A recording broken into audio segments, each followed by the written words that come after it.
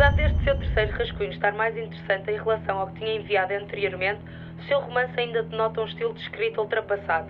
Estamos à procura de algo para um público-alvo mais jovem, portanto.